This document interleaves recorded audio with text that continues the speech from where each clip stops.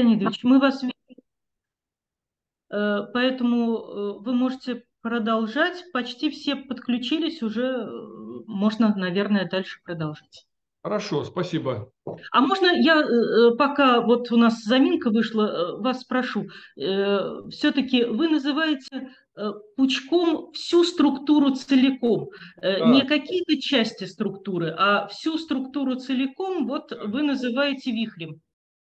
Да, ну э, да, да, это все угу. целиком вихрь с, с переменным состоянием поляризации. И вот, Просто а... вы упоминали разложение по модам Эрмита э, Гаусса. Э, следует ли нам следить за состоянием отдельных мод или нам надо следить за какой-то их определенной комбинацией? А, ну, Просто определенная комбинация э, создает определенную поляризационную структуру. То есть если мы э, пускаем пучок на некоторый объект, то на выходе получается некая совокупность, в принципе, бесконечная совокупность мод Эрмита Гаусса. Конечно, э, моды, есть моды с большей как бы, интенсивностью энергии, они и определяют эту поляризационную структуру. И за ними в первую очередь надо следить. Но это вот видно будет из дальнейшего, что, в принципе, да, можно ограничиться, там, ну, например, 16 модами для того, чтобы э, описать э, поляризационную структуру адекватно. Потому что, ну, дальше уже периферийные пучки, э, где энергия уже стремится к нулю. Э, вот.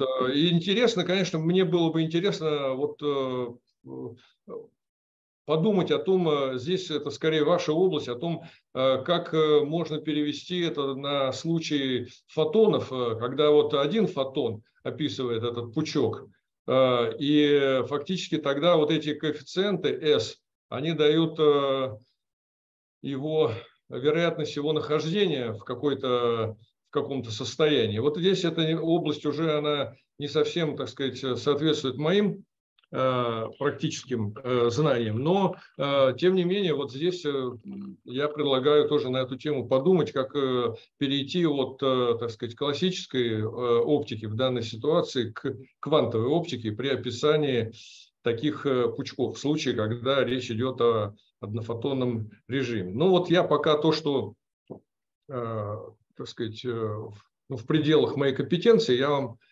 значит, буду рассказывать. Но я двигаюсь дальше, да? Да, спасибо.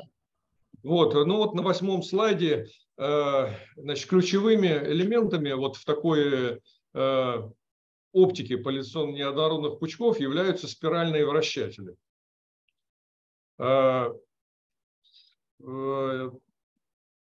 Возможно, так сказать, я уже Э, продвигал в статьях эту идею, и не исключено, что, может быть, э, в Самаре уже их э, практически реализовали, эти пучки, но это, так сказать, достаточно интересная структура, то есть это практически это надо говорить о том, что или неоднородное значит, магнитное поле, которое усиливает в зависимости от азимута свою напряженность, или это, скажем, какой-то естественный кристалл, которого толщина меняется, или, может быть, какой-то другой способ. Но оказалось, что вот уголковые отражатели, они также ведут себя как спиральные вращатели. Но если говорить о, просто о теории, то вот есть два э, спиральных вращателя, э, P э, и N, в зависимости от знака.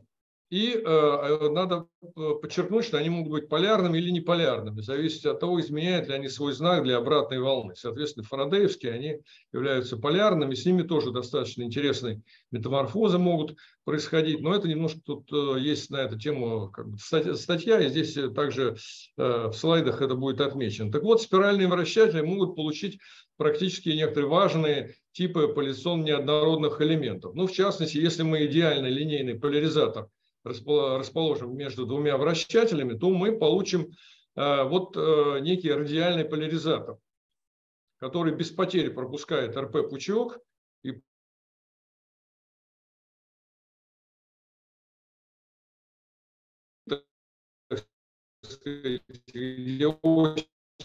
пропускание э, ориентированы по радиусу справа, его можно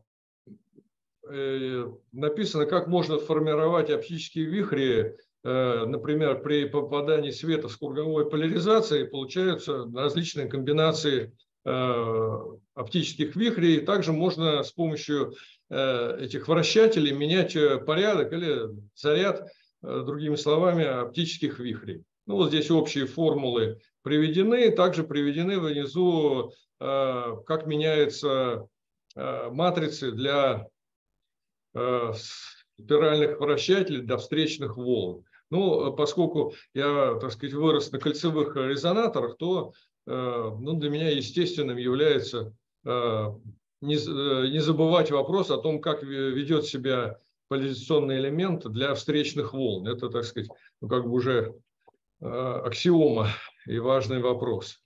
И э, также э, удобно использовать э, так сказать, э, в теоретическом плане э, так называемые спиральные поляризационные базисы, э, которые можно, в которые можно переводить вектора матрицы Джонса в этот спиральный базис, и тогда очевидно, что в этом базисе, например, РП и АП пучки, они имеют простой ортогональный вид, то есть РП пучок это будет 1,0, а азимутально поляризованный будет 0,1. И, соответственно, радиальный вращатель в спиральном базисе будет иметь вид э, э, идеального линейного поляризатора. Значит, ну, в некоторых просто выкладках это несколько удобно и наглядно, и такой подход в этом удобный. Э, но здесь также показано, как, собственно говоря, меняются, ведут себя вот эти полярные и неполярные спиральные вращатели при прохождение волны. То есть если мы вихрь э, правый оптический э, вихрь с правой круговой запускаем, то или левый, то они по-разному на выходе э, меняют свои характеристики для неполярного спирального вращателя и для полярного фарадеевского. Вот. Но здесь это, так сказать, для справки, это можно также вопрос в дальнейшем изучать и дискутировать. Я, честно говоря, не нашел э, в литературе э, вот э, подробного рассмотрения этих вопросов, то есть вопросов знаков и как меняются знаки оптических вихрей при различных манипуляциях. Ну, а теперь, значит, практически, вот переходим, вот ради, теперь как ведет себя радиальный поляризатор для обычного поляризованного света. Вот для линейно поляризованный свет, он э, в него, естественно, э, превращает, трансформирует э, в РП пучок, но у него интенсивность меняется, естественно, по, по азимуту. Вот этот косинус фи минус пси, где пси это азимут, значит, это уже не линейно поляризованный пучок, у этого плоскость поляризации ориентирована под углом пси. Э, к оси X. Так что этот вариант нас не очень устраивает, поскольку получается такой модулированный РП-пучок. А вот э, если взять э, круговую поляризацию, то мы получаем чистый РП-пучок, да еще в качестве бонуса оптический вихрь.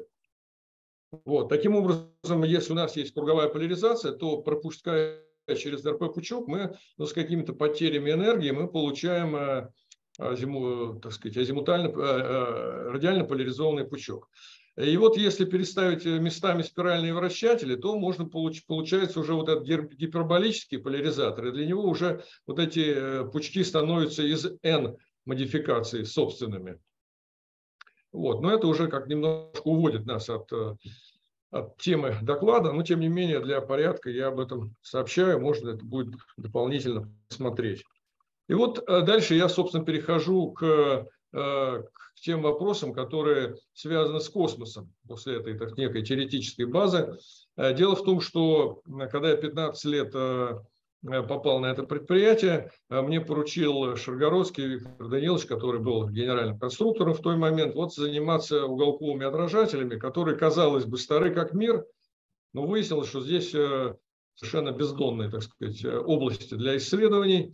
И более того, они оказались очень, так сказать, мне близки, поскольку я занимался и непланарными резонаторами, и э, поляризационно неоднородными пучками. И они вот это все здесь как раз пригодилось. И вот надо сказать, что э, спутников с уголковыми отражателями, как геодезических, так и на спутников навигационных, э, ну, так сказать, наверное, сотни где они располагаются. И весь мир, э, есть специальная служба ЛРС, которая в многих странах и континентах занимаются измерением дальности до вот этих геодезических спутников, э, эталонных, э, таких как Ларец, Ларец и Лагеус.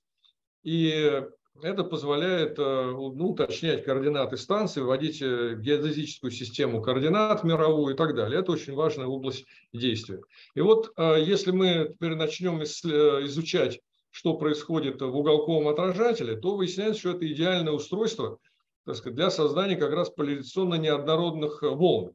То есть пучок в нем проходит шестью различными путями если он э, полностью мы засвечиваем всю апертуру уголкового отражателя. И вот на выходе получается 6 пучков э, с эллиптическим, в общем случае с эллиптическим состоянием поляризации.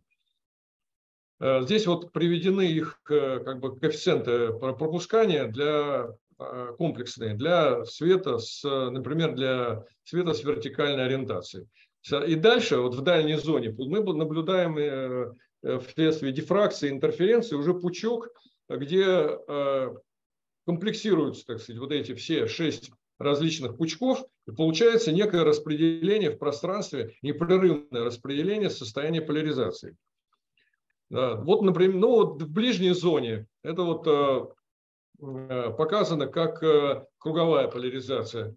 Э, в ближней зоне, что получается. Для света, так сказать, э, без... Э, дело в том, что уголки отличаются многими характеристиками. Размером, развалом граней, в том числе покрытием. Так вот, если не покрывать, то там одна будет картина, если покроем, то другая. Это я сейчас несколько слов об этом еще скажу. Ну вот, две типичных картины. Это уголковый отражатель без покрытия это с металлическим покрытием. Вот э, вид диаграммы направленности или распределения дифракционного поля в дальней зоне, который мы наблюдаем. И вот э, новое, которое я, собственно, я придумал, э, распределение это шестипятенное. Вот оно будет для нас наибольший интерес представлять. Дело в том, что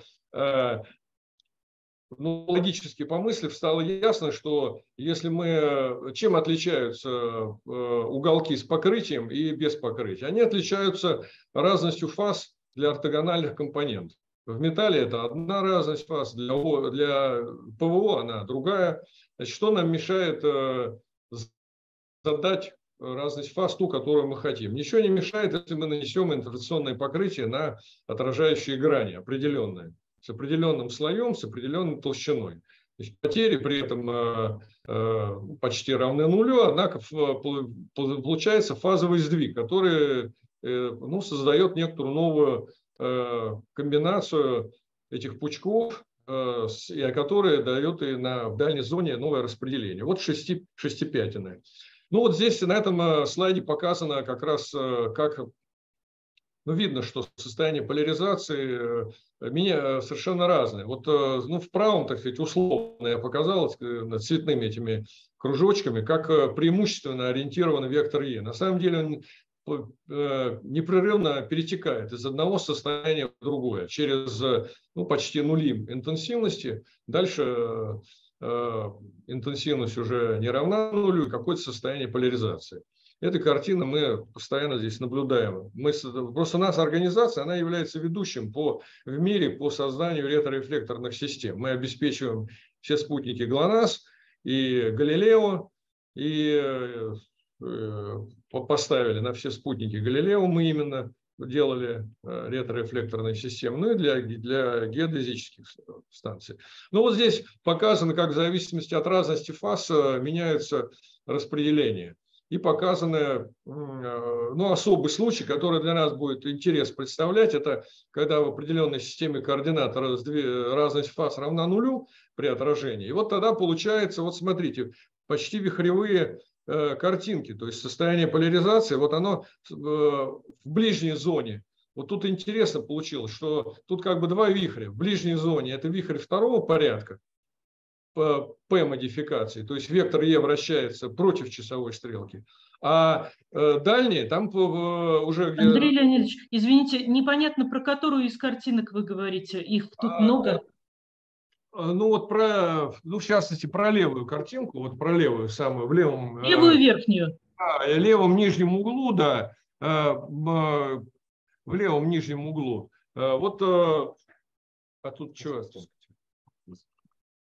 Вы можете показывать просто э, курсором. Мы будем видеть ваш курсор, если а, вы вот будете сейчас, показывать курсором. Курсор не наладили, сейчас я покажу. Mm-hmm. Ну вот, вот обратите внимание, вот здесь э, вращение происходит против часовой стрелки, а вот э, в, бой, в периферийный пучок здесь идет n-модификация. Здесь пучок, э, вектор e вращается, не пучок, а вектор e вращается по часовой стрелке при э, изменении азимута. Вот азимут у нас идет против часовой, вот так.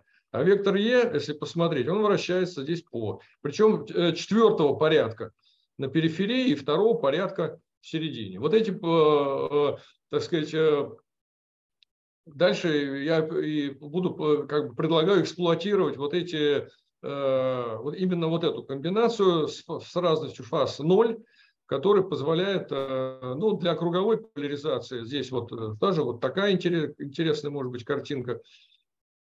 Вот, и вот дальше сейчас я, э, так, а что он не перескакивает теперь, Саша?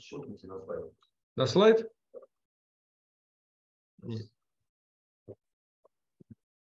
Теперь он, сейчас, секундочку, проблема с переходом. На, как перейти теперь? То есть надо закрывать, да? Завис. А, нет, пошел.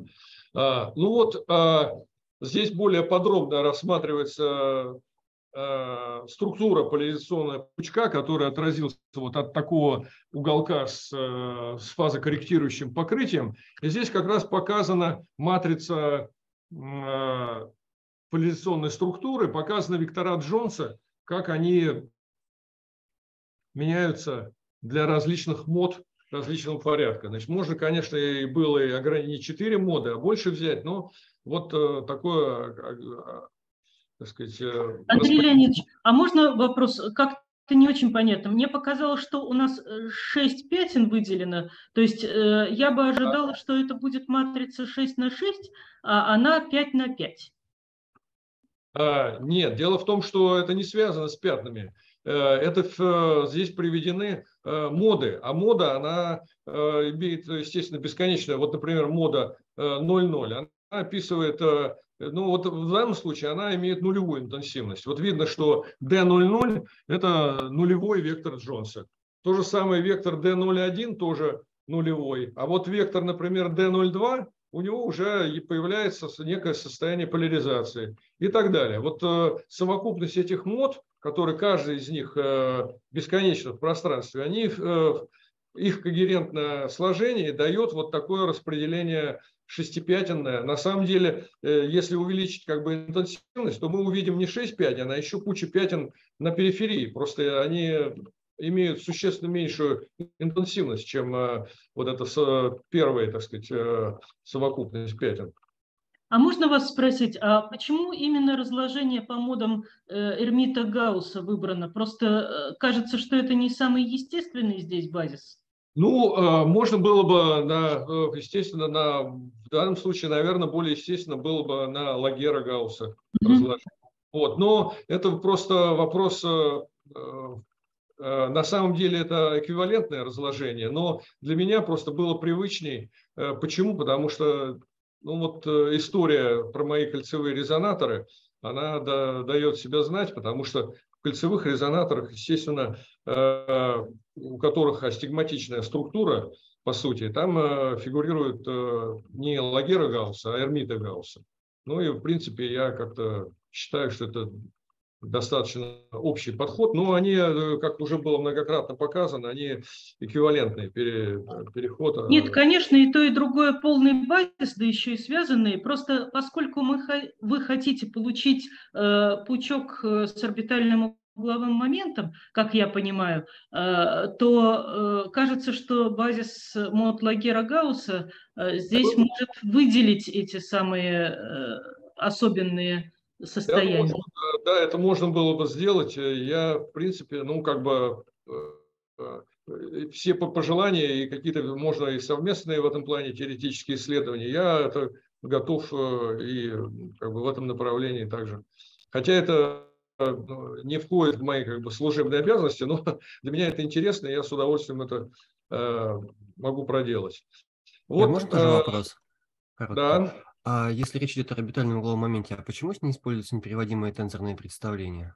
Что-что? Неприводимые тензорные представления. Почему здесь не используются? Я, не, к сожалению, не, не, не могу разобрать э, слова. Неприводимые Может, тензорные представления. Вопрос. Да. Почему не используются неприводимые тензорные представления, раз речь идет об орбитальном угловом моменте?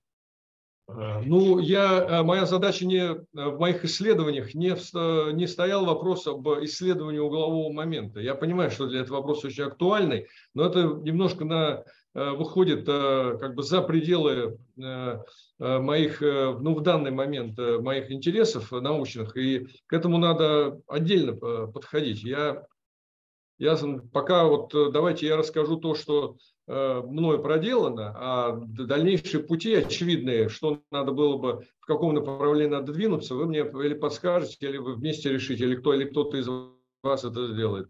Поэтому давайте я пока вот э, расскажу, к чему, к чему я хочу это, так сказать, эту историю привести. Вот э, э, спутник глаз, который мы сейчас э, делаем, и в рамках ОКРа Близгео, он будет как раз оснащен вот такими шестипятинными уголками, поэтому, когда он будет запущен, но это, правда, к сожалению, но надеюсь, что на, на, в пределах моей жизни это будет, э, хотя ориентировочен 26-27 год запуска, э, он э, будет фактически отражать, если мы его круговой поляризацией будем засвечивать, он будет отражать оптические вихри.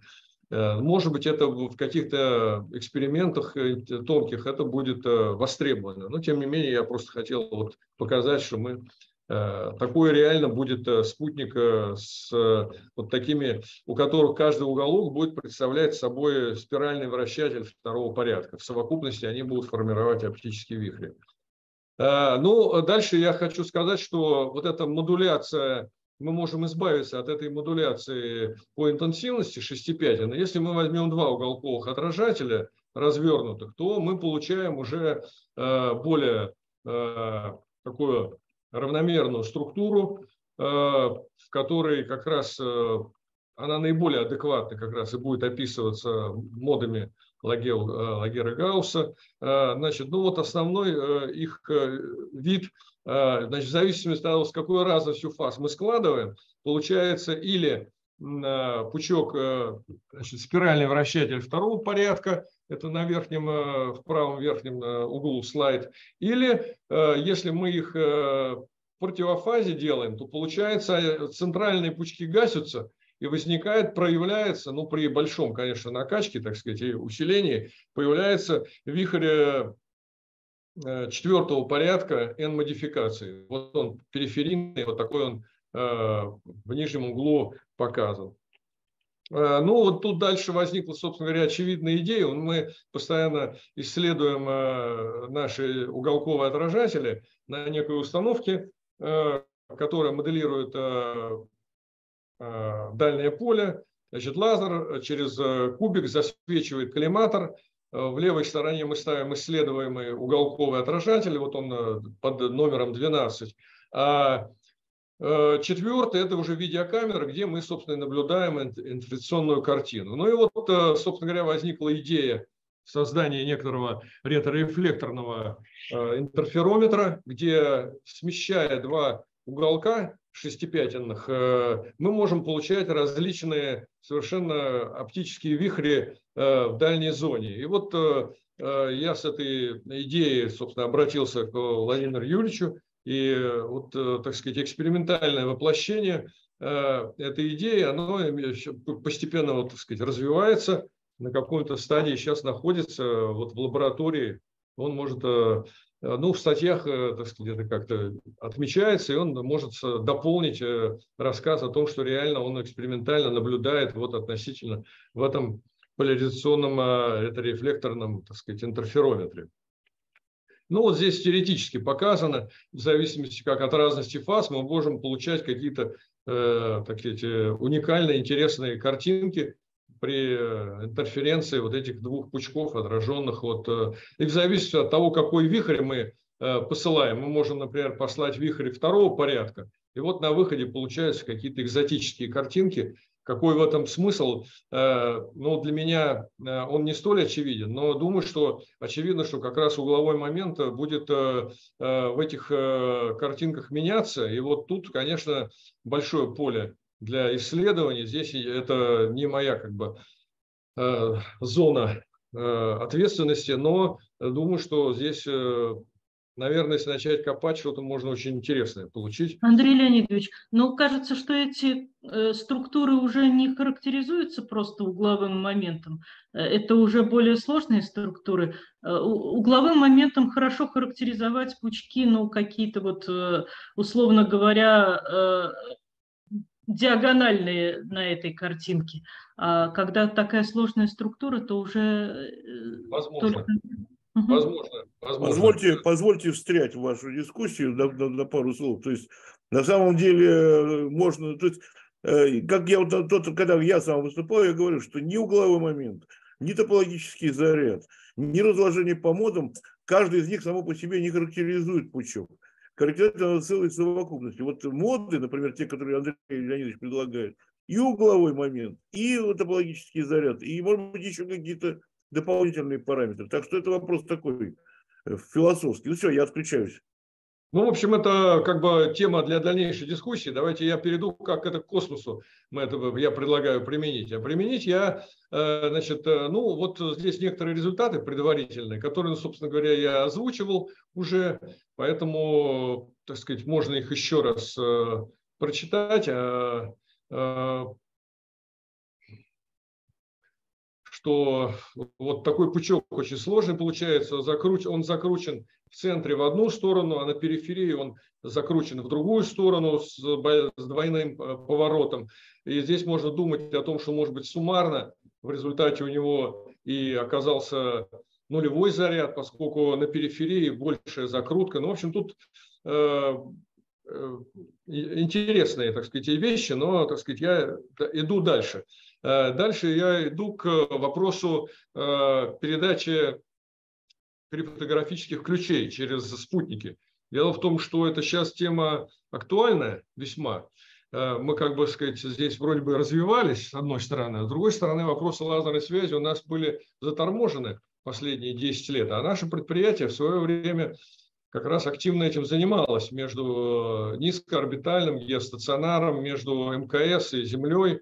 Вот мы единственные в стране, кто занимались такой космической лазерной связью. И поэтому к нам тоже обратились. Причем интересно, что, э, наверное, вы знаете, что РЖД поручили заниматься созданием э, вот, э, криптографических ключей. И они к нам обращаются, и к другим организациям.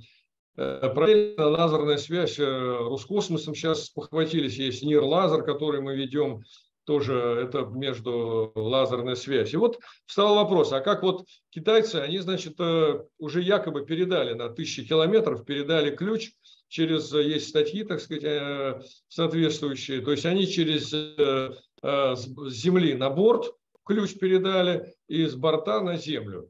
И вот когда, так сказать, я на эту тему как стал думать, то очевидно, что здесь возникают проблемы. Какие проблемы? Вот если говорить об этом ключе известном, BB84, а, то он хорош, э, когда ну, как бы все это в линейном э, пространстве происходит, а когда это э, в пространстве 3D, то встает проблема, как вот этот базис скоординировать э, базис на Земле, базис на спутнике и базис э, на другой Земле. То есть явно, что эта структура, она предполагает вот некую декартовую систему координат, э, и не так просто ее сориентировать. Дело в том, что вот наши исследования, я, так сказать, тут немножко сейчас еще отвлекусь. Вот наша станция радиолазерная точка, это сказать, огромный такой комплекс для измерения дальности на там, до 40 тысяч километров с точностью до э, миллиметра. Э, и вот мы исследовали его состояние поляризации с коллегами. И э, выяснилось, что вот за счет поворотов э, зеркал даже интерференционных зеркал. Но мало того, тут, конечно, потери какие-то э, еще могут возникать, но даже в отсутствии потерь состояние поляризации, плоскость поляризации, так другими словами, она зависит от э, угла наклонения азимута.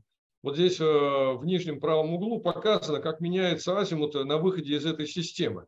Поэтому, если бы мы хотели передавать квантовый ключ по вот Декартовому базису, то мы должны были бы ну, наверное, китайцы это делали, если не, если не обманывают, э, должны были бы каждый раз и на борт как-то ориентировать, и землю относительно этого повернутого э, Декартового базиса для передачи этих ключей. Ну и вот, собственно говоря, возникла идея. Дальше я перехожу к, э, к той идее, которую я последнего, так сказать, вот предлагаю, продвигаю. Это попробовать модифицировать вот этот протокол ББ-84 как раз с помощью четырех, э, использовать в качестве базовых четыре пучка. Это РП пучок, АП пучок и вот эти два пучка, э, повернутые на 45 градусов, которые вот здесь приведены. В спиральном базисе они будут 1,1 и минус 1,1, а те, значит, 1,0, 0,1. Вот в спиральном базисе четыре аналогичных Декартову будут базовых состояния поляризации.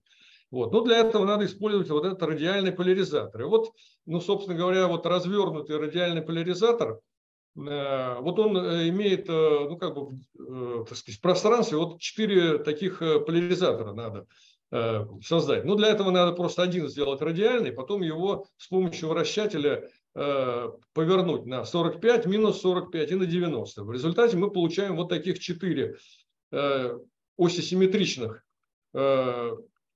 поляризатора, который нам необходим для того, чтобы оперировать вот с этими э, четырьмя базовыми состояниями поляризации.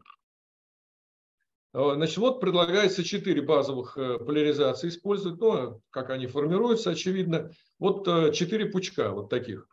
Вместо вот этих, которые предлагаются, известные BB84, это значит XY и на 45 плюс 45, минус 45. Здесь, здесь вот предлагается вот таких четыре пучка использовать, оси симметричных. Они, естественно, не критичны к повороту э, в пространстве. Их можно крутить э, как угодно. Поэтому если э, мы, кстати, в, этой, в наших э, квантооптических станциях мы используем для того, чтобы не зависело на выходе состояние поляризации, мы используем круговую поляризацию. То есть лазер, ставим на, после лазера пластинку лямбда на 4 и э, получаем круговую поляризацию. Поэтому по, по ряду причин это более и для измерения дальности лучше, и не зависит состояние поляризации на выходе и другие параметры. Так вот, если круговую на выходе из этого э, нашего телескопа, э, передающего, поставить э, радиально поляризованный, значит, радиальный поляризатор, вот, и его также с помощью вращателя мы можем делать его комбинации, еще дополнительных три, то мы получим вот таких четыре пучка на выходе.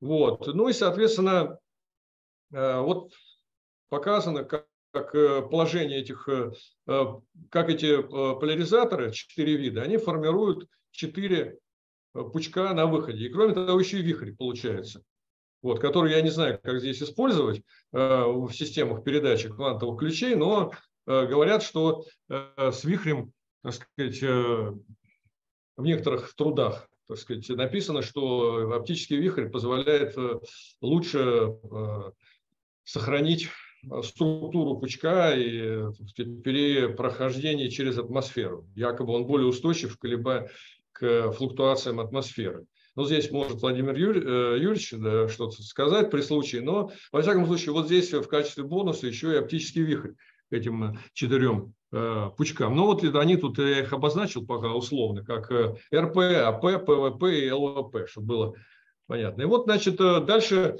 для распознавания. Соответственно, в распознавании тоже мы должны ставить пучок. И понятно, что в одном положении РП-пучок пропускает, РП-поляризатор пропускает РП-пучок. Это вот в, в другом он азимутальный поглощает. Это в спиральном базисе, чтобы не путаться с этими углами. Здесь вот на этом слайде это продемонстрировано, как эти пучки в зависимости от положения поляриз... Э, вот этого пространственного поляризатора или пропускаются, или э, полностью поглощаются. Ну и попутно, это вот, собственно, все на то, что я хотел сказать про тему космической связи. Э, я думаю, что, может быть, это ну, сейчас эту систему вместе, видимо, с нами как-то будет э, вот из МГУ э, Кулик этим занимается, космическим экспериментом по передаче. Вы, наверное, его знаете, он так сказать, тоже занимается э, космическими, так сказать, кванта ключами. Вот, а ближайший сотрудник. Что? Он наш ближайший коллега. Коллега, ну вот, вот, так сказать, не знаю, у него, правда, свои, он не, не сторонник ББ-84, у него, э, так сказать, другая, другая идеология, насколько я знаю, но, тем не менее, так сказать, э, в дополнение возможным модификациям, вот можно и такой протокол рассмотреть.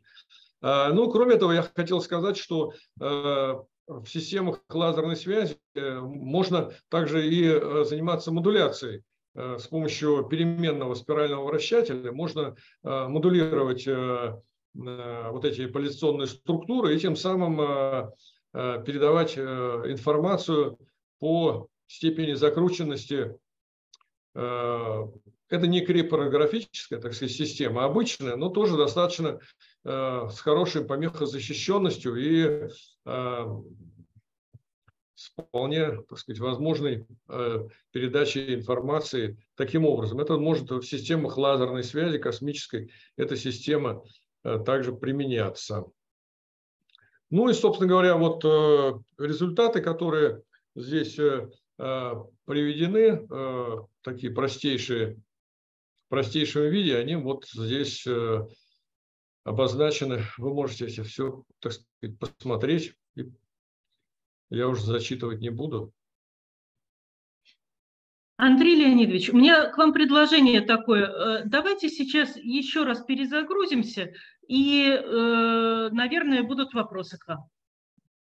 Хорошо, сейчас попробуем. Давайте. Давайте, да.